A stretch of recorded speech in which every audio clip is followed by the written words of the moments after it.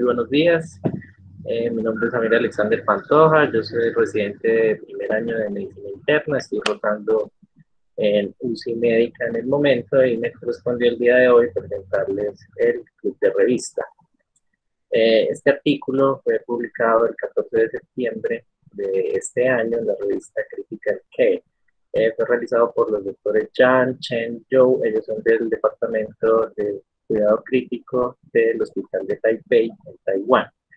Eh, el, artículo eh, se titula eh, Ventilación proporcional asistida versus ventilación de presión de soporte para el winning de adultos en ventilación mecánica. Es una revisión sistemática de metaanálisis y que además trae un análisis secuencial de ensayos que pues, más tarde vamos a, a evaluar pues qué es esto a grandes rasgos todo proceso eh, a nivel de la UCI es muy común que es la intubación endotraqueal y el uso de ventilación mecánica.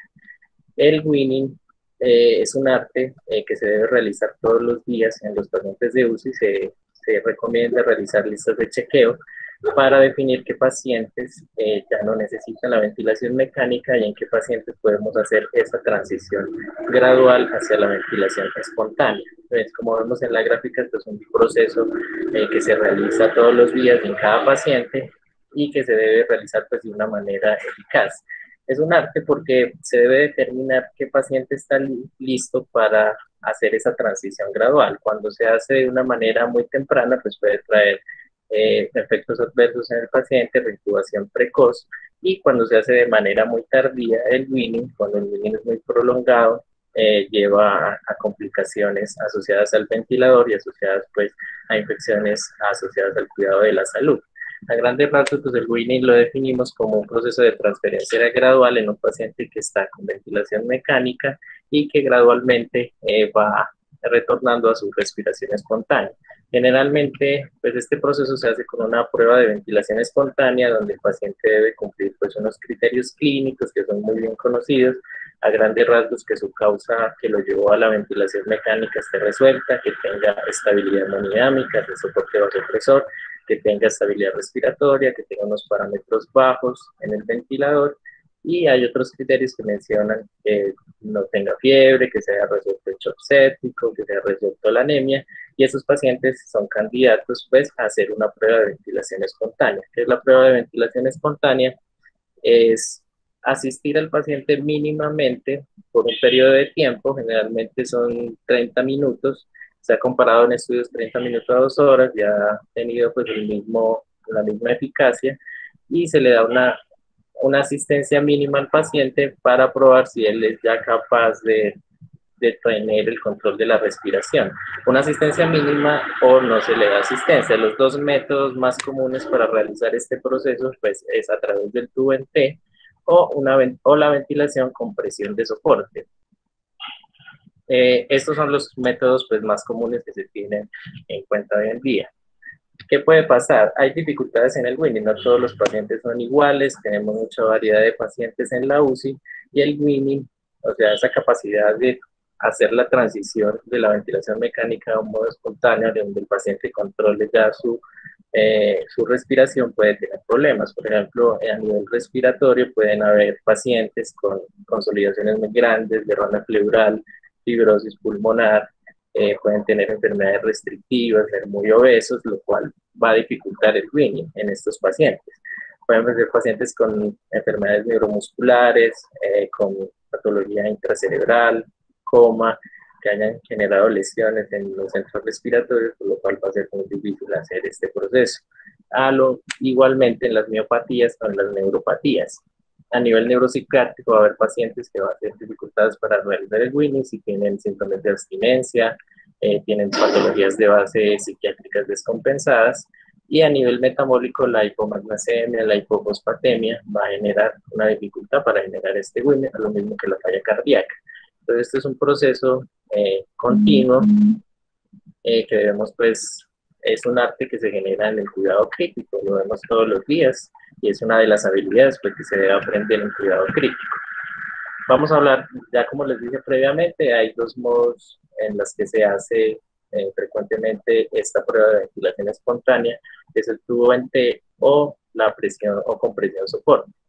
Este modo PSV lo vamos a conocer como PSV Pressure Support Ventilation, es una modalidad asistida y, limitada por presión. A grandes rasgos lo que genera es que el ventilador proporciona, proporciona un soporte constante durante la expiración. Nosotros controlamos una presión que va a estar eh, en la vía aérea del paciente de manera continua y no va a variar a menos de que nosotros pues, hagamos el ajuste y lo vamos titulando. El paciente es el que dispara el ventilador respiración a respiración y el ciclado, o sea, la apertura de la válvula expiratoria va a estar determinada en función de un porcentaje de flujo que se va a alcanzar y el cual lo vamos a poder nosotros controlar. Es la fracción, la fracción de ese flujo. Y también vamos a poder controlar una variable que se llama rise time o rampa, en la cual es el tiempo que transcurre entre el disparo del paciente y en lograr esa capacidad pues, inspiratoria establecida. Este es el modo que utilizamos comúnmente en la rotación, pues como dice, los ventiladores generalmente lo hacemos con este modo de presión de soporte. Ahora, eh, hay unos nuevos modos ventilatorios, eh, entre comillas, nuevos, porque pues este, por este modo, que es la ventilación proporcional asistida, en siglas PAP, lo vamos a conocer de hoy en adelante, es un modo que se creó, pues se diseñó desde 1992, y lo que hace básicamente es que, a diferencia de la presión soporte, que nosotros la ponemos en el ventilador y va a estar constante en los ciclos respiratorios del paciente con la ventilación proporcional asistida, el ventilador detecta el esfuerzo inspiratorio del paciente. Y dependiendo de ese esfuerzo inspiratorio, él modula la presión necesaria que necesita el paciente. Es decir, que en cada ciclo respiratorio la presión va a variar dependiendo de las necesidades del paciente. Eh, acá tenemos una gráfica en donde pues vamos a, intentar entender pues, los principios de esta ventilación asistida proporcional. Eh, los ventiladores que tienen este modo van en todo momento van a estar sensando el flujo y el volumen que el ventilador entrega al paciente y van a tener un sensor que detecta las propiedades, las, las propiedades resistivas y elásticas del pulmón. Entonces lo que va a pasar es que esa señal, acá como vemos en la flecha, el flujo y el volumen, eso se va a generar una señal amplificadora que va a llegar al motor y el motor va a liberar el pistón y el pistón va a liberar una presión que es proporcional eh, en cada paciente para vencer sus propias propiedades resistivas y sus propiedades elásticas. Es decir, cada ciclo eh, respiratorio en un tiempo determinado, él va a medir cada paciente cuál es su presión resistiva, cuáles sus propiedades elásticas y va a determinar cuál es la presión necesaria para vencer esa, esas presiones y va a dar un flujo determinado.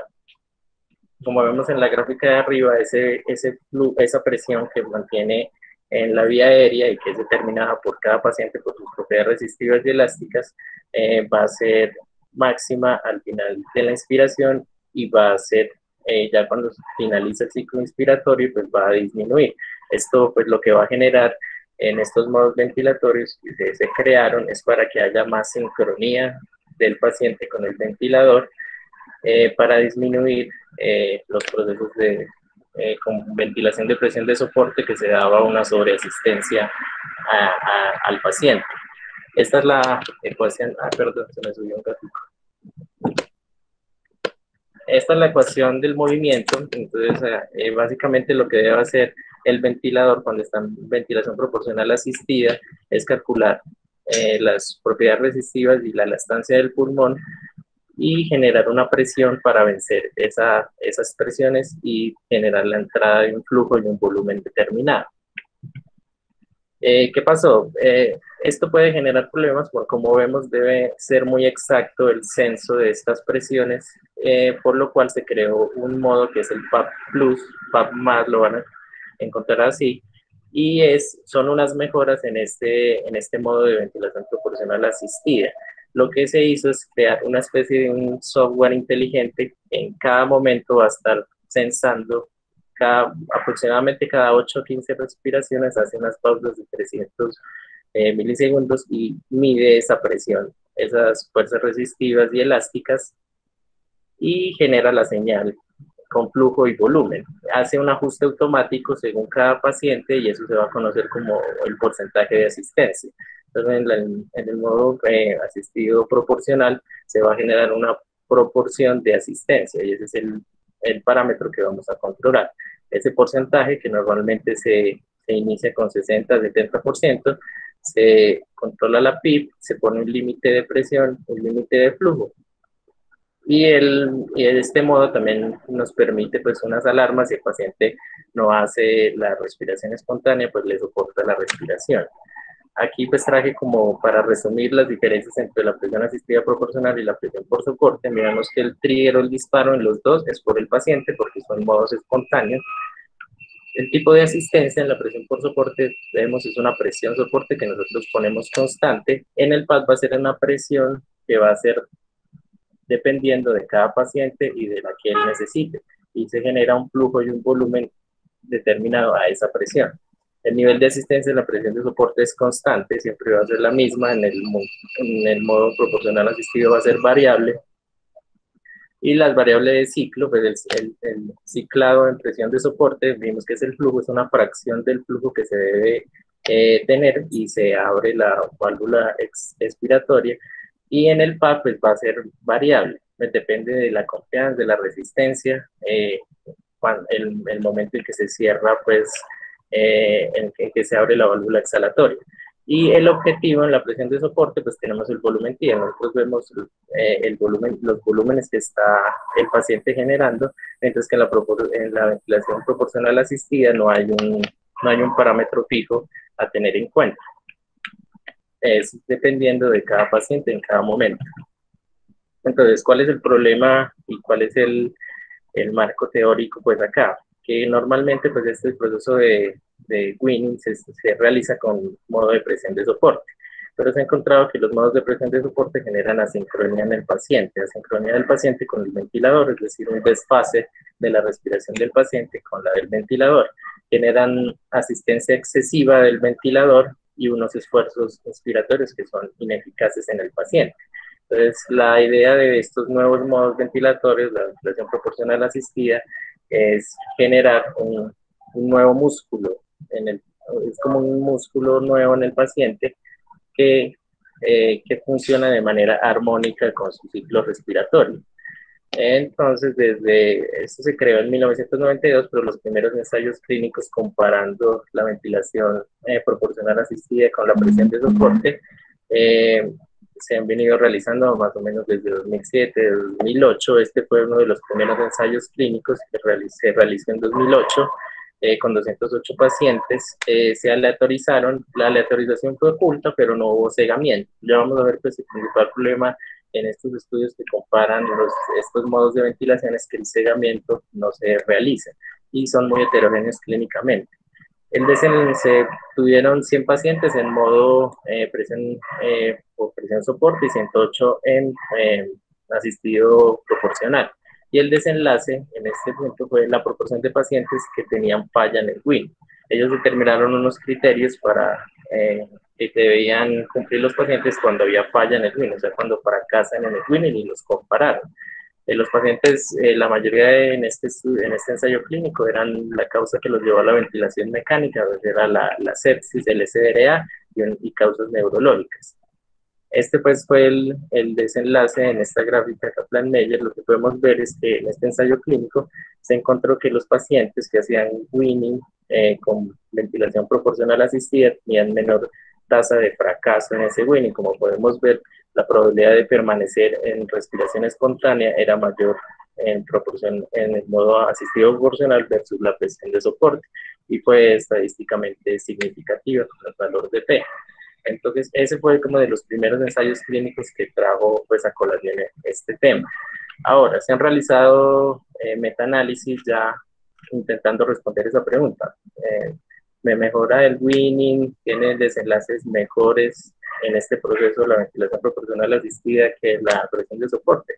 Eh, se hizo este metaanálisis en 2018 de 14 ensayos clínicos.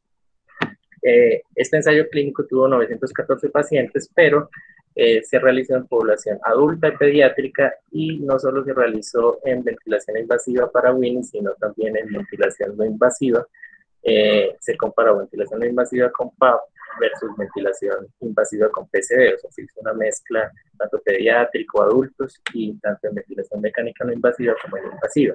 Y los desenlaces fue, cuando estaban los pacientes en ventilación no invasiva, eh, disminuir el, la intubación y cuando estaban en, en Winning fue el desenlace fue el tiempo, ver si con un modo había reducción en el tiempo de Winning.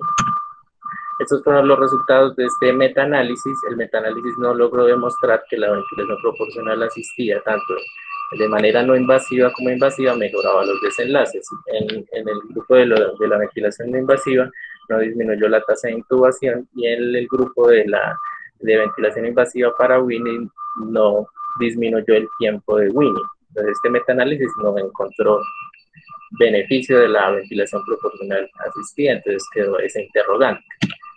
Este metaanálisis del mismo año eh, también se realizó comparando la ventilación proporcional asistida y la de soporte en el Winning. En este caso también comparó un modo, un modo de, de los nuevos modos ventiladores, que es el NAP, que es el neuronalmente mediado. Comparó estos tres.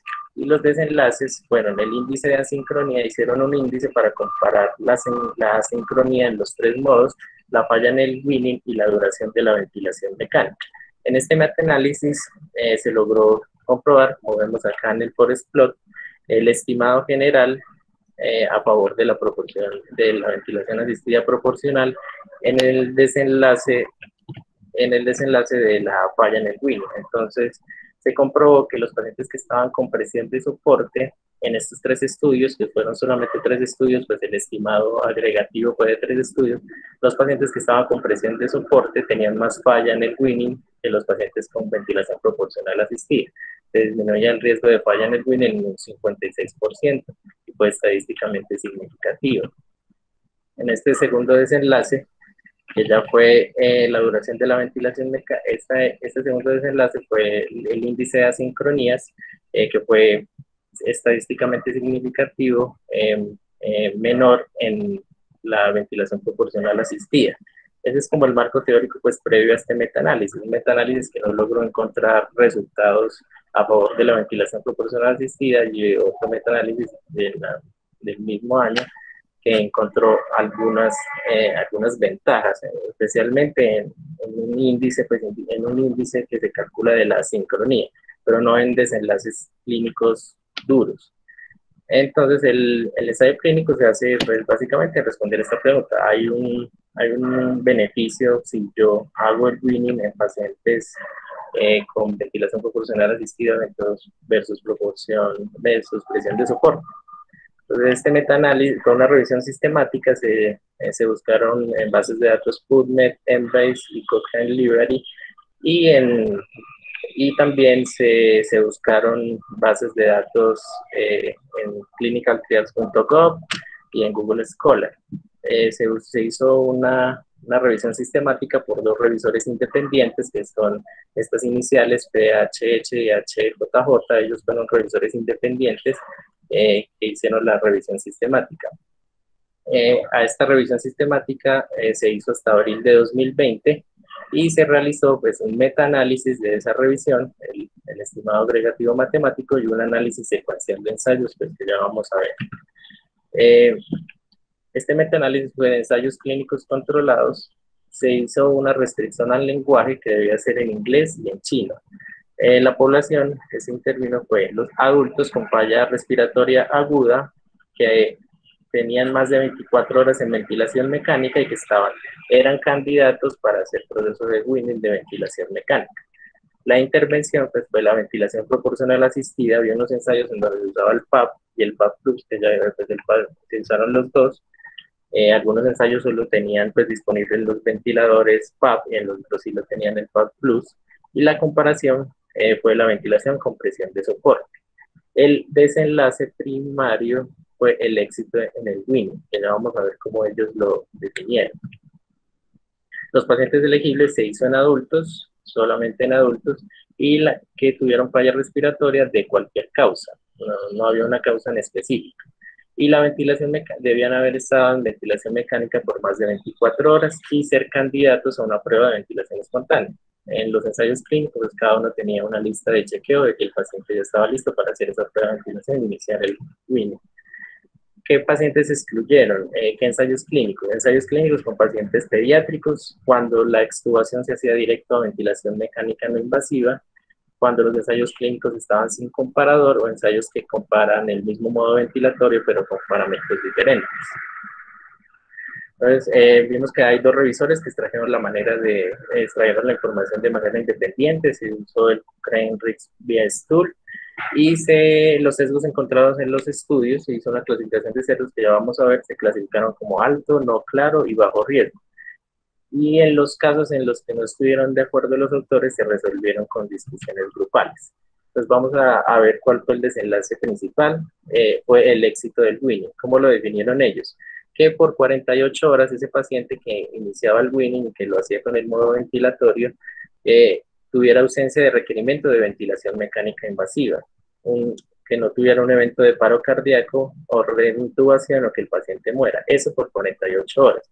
Ese fue el desenlace principal, o sea, es un desenlace positivo. Lo que vamos a ver es si es la ventilación proporcional asistida tiene más éxito en el winning que la ventilación con soporte. Como vimos en, en el metaanálisis en el, en el segundo metaanálisis que presenté, el desenlace pues era negativo porque era la falla en el winning. En este caso, el metaanálisis hizo un desenlace que es el éxito en el winning, entonces tiene importancia a la hora que interpretemos pues, los forest plot.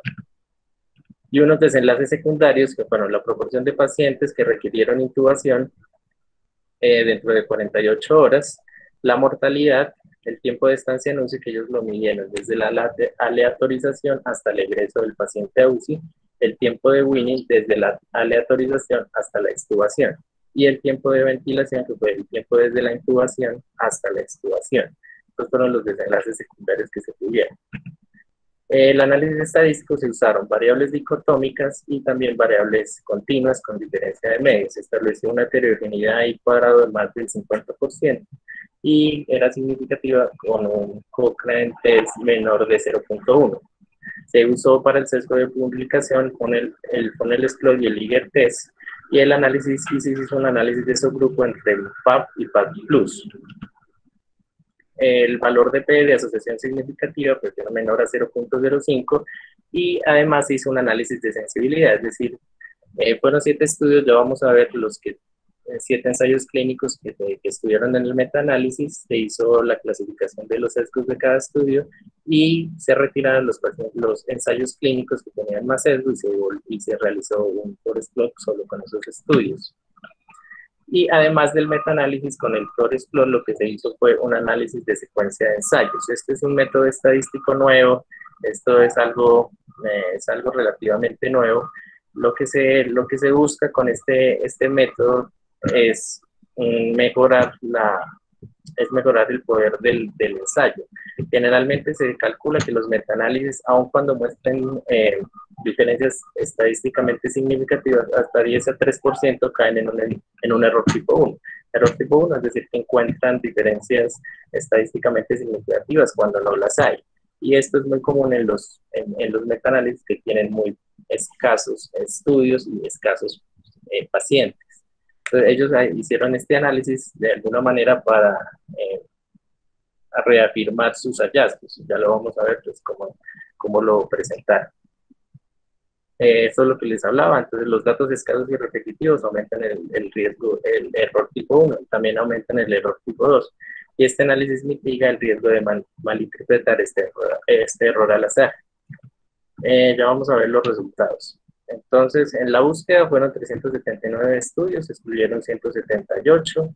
Eh, se hicieron la depuración con los criterios de inclusión, se retiraron ya 201 estudios porque tenían pacientes pediátricos, se usaba ventilación mecánica no invasiva.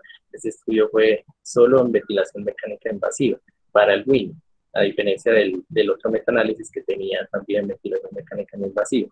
Eh, quedaron 37 estudios, de estos 37 estudios se retiraron 30 porque no estaban completos el texto, porque no estaban en idioma inglés o chino, o porque los desenlaces no fueron reportados, los desenlaces de interés pues, de este estudio.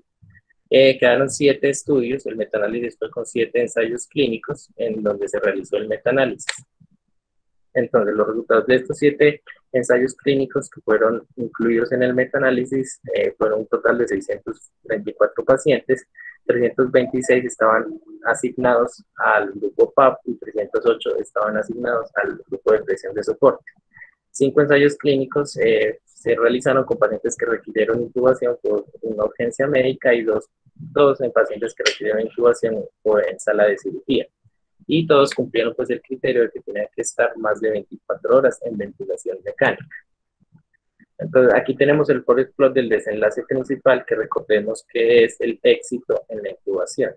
Aquí para comentar de este forest plot tenemos aquí por, mm, por años los siete estudios y la primera cosa que nos llama la atención es que los estimados de cada estudio todos están hacia el lado a favor de la ventilación asistida proporcional lo cual pues cuando vemos varios metaanálisis no es lo común, generalmente hay estudios que, que no encuentran la asociación favorable, hay otros estudios que sí la encuentran. En este caso pues se ve que todos los siete estudios encontraron una tendencia hacia favor de la ventilación proporcional asistida. Pero si nos vamos a ver el peso de cada estudio, este estudio del 2008 es el 35% del peso para el estimado y este estudio de Salama en 2018 es del 21%. Vemos que esos dos estudios ya tienen más del 50%. Y si vamos a ver la significancia que tiene cada estudio con el intervalo de confianza, vemos que solo pues, dos estudios encontraron diferencias estadísticamente significativas, que fue este del 2008, tienen que el intervalo de confianza del estudio del 2008 eh, no pasa el valor nulo, está por fuera del 1, que es este del 2008, y el de Gennady de 2014. Son los dos estudios que son estadísticamente significativos. El de Gennady solo tiene un peso del 8.7%. Ya hacer el estimado agregativo de estos estudios, entonces encontraron en el Forest Plot que había un, un RR de 1.16 a favor de la presión asistida proporcional. Pues, ¿Qué nos quiere decir? Que había un 16% más de éxito en los pacientes cuando se les realizaba winning eh, con presión proporcional asistida versus con presión de soporte. Encontró, eh, había un, un, desenlace favorable a favor de la proporción asistida en un 16%. Otra forma de interpretarlo es que por cada 100 pacientes que tuvieron éxito en el winning con presión de soporte, 116 lo tuvieron con la presión asistida proporcional. El hallazgo eh, fue estadísticamente significativo, tenemos el intervalo que está por encima, está por encima de 1 y al hacer el test de heterogeneidad, que es pues un test que se realiza en los metaanálisis para ver entre los estudios si hay diferencias, eh, encontraron un cuadrado de 0%. O sea que los estudios eran homogéneos y si hay diferencias, pues se explican por el azar. Eh, era lo esperable que sean homogéneos porque vemos que todos los estudios encontraron una tendencia hacia favor de ventilación proporcional asistida, algunos con significancia estadística, otros no, pero eh, tuvieron esa tendencia y cuando hicieron el test de heterogeneidad pues eran homogéneos entre ellos. Eh, los desenlaces secundarios podemos ver que hubo tres que fueron estadísticamente significativos, uno que es una variable dicotómica y otros dos que son una diferencia de medias. En la reintubación, entonces encontramos un RR de 0.49 con un intervalo de confianza que es estadísticamente pues, significativo, no, no toma el valor de 1, que es el valor nulo, con una heterogeneidad del 0%, o sea que es homogéneo, y esta P, que es la P de la heterogeneidad, que es en 0.8. Eh, en la reintubación, entonces podemos concluir que los pacientes con eh, presión proporcional asistiva tienen una reducción del 51% en la tasa de reintubación, se reintuban menos los pacientes cuando se hacen WIMU con presión proporcional asistida. En la mortalidad no se encontró una diferencia estadísticamente significativa, vemos que el intervalo pasa por encima del, del valor nulo que es 1, y, pero mencionan ellos que se encuentran una tendencia en disminución de la mortalidad, pero al no ser significativa, pues no lo vamos a tener en cuenta por ahora en las variables de diferencia de medias eh, tenemos la estancia en la UCI. Entonces encontramos acá en esta diferencia de medias, pues el valor nulo es cero.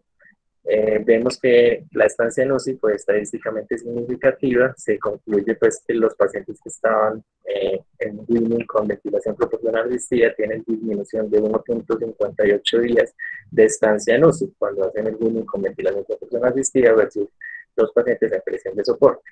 Y el otro desenlace secundario que fue estadísticamente significativo fue la duración de la ventilación, que se concluye pues, que los pacientes con ventilación proporcional asistida tuvieron una 40 horas menos de duración de ventilación que los pacientes con presión de soporte. Estos son el forest plot de los desenlaces, de los desenlaces secundarios, este es el de la reintubación. Podemos ver también que la mayoría, solo hay un estudio que toca el valor nulo, los demás, eh, sí tenemos el de 2008 y el 2015, alcanza a tocar el valor nulo, los demás no lo tocan, y la tendencia es hacia el favor de la ventilación proporcional asistida en la reducción de, la, de las tasas de, de reintubación. Esta es la estancia en UCI, que se disminuyó en 1.58 eh, los días de estancia en UCI. ¿Qué hicieron ellos? Eh, hicieron una meta-regresión, es decir, ajustaron, pues las, ajustaron a estas cuatro variables que era la edad, el sexo, eh, la duración de la ventilación mecánica y un puntaje fisiológico. Es decir, como vimos, el winning tiene muchas variables, entonces eh, lo que buscaron acá es ver si no solo pues el método con el que yo hago el winning, es decir, si uso un tipo de presión soporte, uso un asistido, uso un T, si hay otras variables pues que lo pueden explicar. Ellos solo usaron estas cuatro. Ajustaron por edad, por género, eh, por duración de la ventilación y un score fisiológico, que es, un score que se usa, es una especie de apache para ver el, pronóstico de los pacientes que están en UCI y no encontraron pues que los desenlaces no cambiaban al ajustar estas variables. Y se hizo un análisis de sensibilidad. Entonces se retiraron, eran siete estudios, se retiraron los tres estudios que tenían más riesgo de sesgo, que ya vamos a ver pues por qué era. Y aún retirando pues esos estudios, miramos que ya haciendo solo el estimado agregativo del metaanálisis, con esos cuatro estudios se sigue se sigue presentando el desenlace a favor pues, de la ventilación asistida proporcional, eh, con un, un ratio de 1.22, o sea que un 22% más de, de éxito en intubación con ventilación asistida proporcional. Y este es el análisis secuencial de ensayos, que es el que les mencionaba que ellos lo usan para disminuir el, el riesgo de error tipo 1. Lo que pasa es que este metaanálisis, como varios que pues podemos ver, tienen muy pocos estudios. Tienen siete estudios y ensayos clínicos con 50, 60 pacientes y sumaron solo 600 pacientes. hay mucho riesgo de que por esa poca cantidad de ensayos clínicos de pacientes establezcamos diferencias significativas en que las hayas, el error tipo 1. Entonces se, diseñó este método estadístico que a grandes rasgos lo que vemos es la línea azul, es un estimado agregativo de todos los estudios. Podemos ver los puntos, que son siete puntos. Cada punto es el, ensayo clínico que tuvo el metaanálisis y la longitud de la línea es el peso que tiene el estudio. digamos que esa línea transfiere en alguna manera el forest plot, pero lo hace de manera longitudinal, une los estudios en una línea. Y lo que se busca acá para determinar si es estadísticamente significativo o no, es que como vemos acá en la parte inferior, dice FAB o sea, a favor de la ventilación proporcional asistida, y arriba está a favor de la presión soporte. Vemos la línea azul, que son todos los estimados de los siete estudios, está a favor del PAP y está por debajo de esta línea, de la línea, esta línea de color café, que es el nivel de significancia. Entonces, eh, como está por debajo del nivel de significancia, y cruza esta línea roja, que es un estimado matemático que ellos hacen para, para afinar ese, ese poder y ese que el estudio no tenga ese error tipo 1, eh, hacen esta línea roja, es un estimado agregativo de, que debe sobrepasar los estudios. Entonces vemos acá que la línea azul cruza este, esta línea roja y está por debajo de la línea café. Entonces lo que se puede concluir acá es que hay diferencias estadísticamente significativas. De alguna forma apoya lo que se encuentra en el forest plot, de que fue significativamente estadístico a pesar de ser con números bajos. Y lo otro que se concluye acá es que la línea termina aquí en la mitad. Si la línea terminara acá al final, eh, quiere decir que es el número mínimo de pacientes que necesitaban para encontrar esa diferencia. O sea que el estudio sí se quedó corto el número de pacientes. Y más o menos, según esta gráfica, el estudio tuvo 600 pacientes. se necesitaban más o menos 1.100 pacientes para determinar esas diferencias. Pero a pesar de que se quedó corto, cruza esta, esta línea de significancia y está por debajo del, de la línea café, que es la significancia estadística del P0.05. Ahora vamos a la discusión. Entonces, eh, los pacientes en modo, eh, cuando hacemos el winning con proporción asistida, eh, con, proporción, con ventilación proporcional asistida, tenemos que hay mayor probabilidad de éxito en el winning que en los pacientes con presión de soporte. Se encontró una disminución en la tasa de intubación y una disminución de la estancia en UCI. Esto fisiológicamente se explica por lo que habíamos visto. La presión de soporte genera una, una sincronía con el paciente, porque genera desfase en la respiración del paciente con el ventilador, y el modo PAP está especialmente diseñado para que se mejore esa, esa sincronía del paciente con el ventilador, y esa es pues, la explicación que, que, genera que se pueda generar un desenlace pues, clínico favorable. Eh, hay una reducción de los esfuerzos inefectivos. En otros ensayos también se ha encontrado que mejora la calidad del sueño y se necesita menor sedación en estos pacientes y mejora la presión arterial de oxígeno. Entonces, comparándolo pues con los anteriores eh, que se habían realizado, eh, había un metaanálisis que no había encontrado pues asociación y otro que había generado la pregunta de que probablemente sí había asociación, pero lo había hecho con un índice de asincronía, sino con un, no con un desenlace como éxito en incubación, reincubación o días de estancia en uso.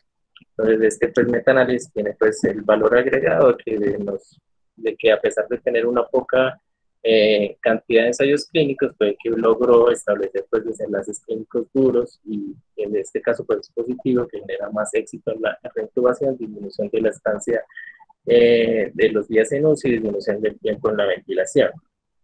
Bueno, eh, ahora, ¿qué limitaciones pues, tuvo este estudio? La que ya he mencionado, que fueron muy pocos ensayos clínicos y muy pocas personas.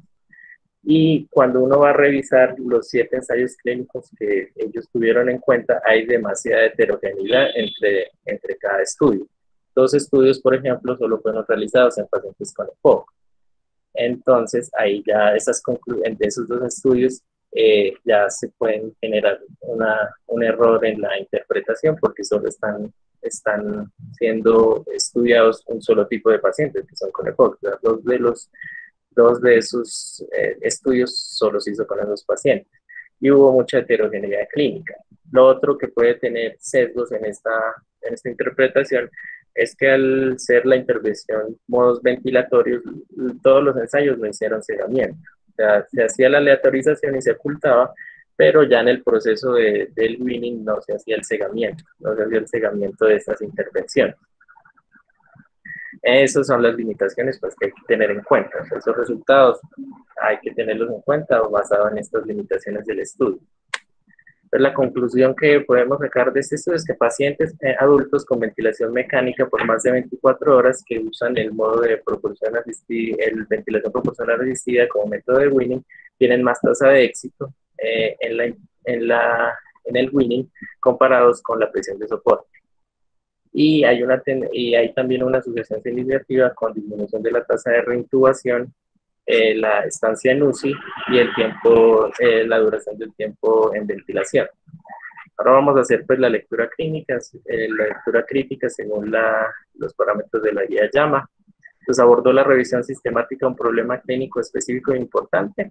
En este punto, pues yo considero que la pregunta sí fue específica, clara, un problema clínico que no, había que no se había resuelto por anteriores metaanálisis y ensayos clínicos ver si en este proceso del winning hay algo que, aparte de tener, el, eh, tener la buena eh, juicio clínico de saber qué paciente está listo para realizarlo, ver si hay otra variable que puede influirme positivamente en alcanzar pues esta meta.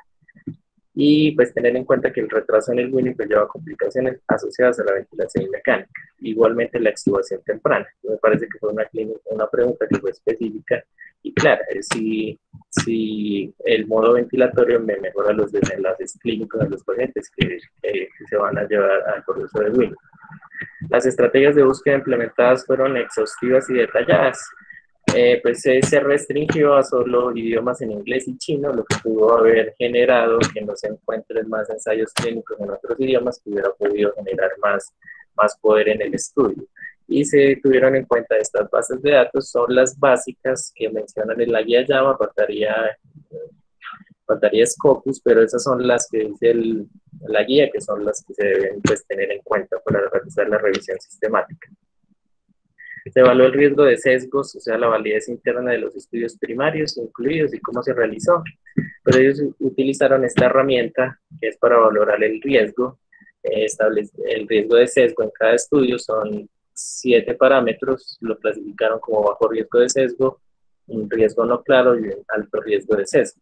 Y se lo, se lo adjudicaron a cada estudio. Entonces, lo curioso acá es que el estudio de 2008 de Chaki, que fue el estudio que tenía el poder del 35%, era el que más, o sea, eh, el que más generaba eh, el número de pacientes en el metaanálisis, fue el que tuvo tres eh, tres ítems con alto riesgo de sesgo. Pero ese estudio fue retirado en análisis de sensibilidad y aún así se encontró, pues, la, eh, se encontró la diferencia estadísticamente significativa.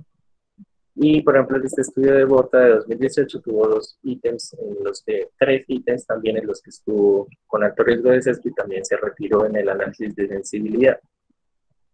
Eh, y hay dos, como les dije, hay dos estudios, que es el de El Ganadi de 2014 y el de Salama del 2018, que no tienen un ítem con alto riesgo de sesgo, pero estos dos estudios fueron los que solo se realizaron con pacientes con EPOC, a tener en cuenta eso. Entonces hay estudios, tres con alto riesgo de sesgo y los dos estudios que no tenían eh, riesgo alto de sesgo se hicieron con pacientes con EPOC. Entonces eso sí se debe tener en cuenta a la hora pues, de analizar ese estimado. Y pues ya vimos que se hizo el análisis de sensibilidad, se retiraron esos tres que tenían alto riesgo de sesgo y aún así eh, se vio una diferencia estadísticamente significativa a favor de la proporción asistida eh, proporcional, haciendo la, haciendo la anotación que el ensayo del Ganadi de 2014 y el de Salama son los en pacientes con EPOC y tienen un número muy limitado de pacientes. La revisión sistemática valora posibles explicaciones de la diferencia de los resultados. Pues esto básicamente es hablar de la heterogeneidad de los estudios. Los estudios fueron, por definición, fueron homogéneos en sus hallazgos. Entonces, eh, en este punto, pues vuelvo a traer a colación que la heterogeneidad del estudio pues, fue del 0%. O los estudios fueron homogéneos, las diferencias se explican por el azar. Los resultados son clínicamente aplicables, pues aquí ya va la discusión. En conclusión, podemos ver que hay un 16% más de tasa de éxito en Winning con presión asistida proporcional que con PCD. Hay un 51% de reducción en la reintubación eh, con presión asistida proporcional versus presión soporte. Y hay 1.5 días menos de estancia en uso en promedio con la ventilación con PAP versus PCB y hay 40 horas menos de winning en promedio con PAP versus PCB. Esos son los, los resultados en medidas relativas. Ahora lo que uno se pregunta es a nivel absoluto, esas diferencias, eh, esas diferencias, ¿cómo, ¿cómo, las interpretamos? Pues haciendo el cálculo, tenemos que en este, pues en este caso, como es un desenlace positivo y es a favor de la intervención, o sea, un 16% más de éxito, la, ya la reducción relativa, la reducción absoluta de riesgo sería como un aumento, un aumento del riesgo, o sea que en los pacientes con PAP tienen un 12% más de éxito en la intubación en medidas absolutas comparado con eh, BSD, 12% en medidas absolutas.